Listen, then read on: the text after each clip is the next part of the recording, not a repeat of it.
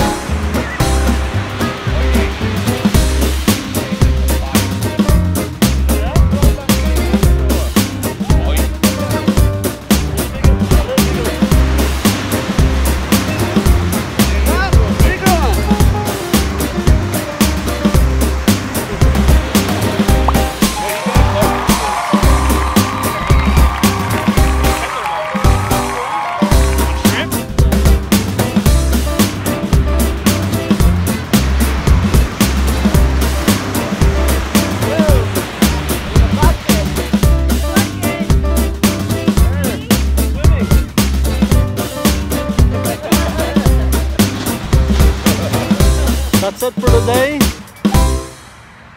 Let's go again start fishing next time. It's getting dark. and It's time to go home.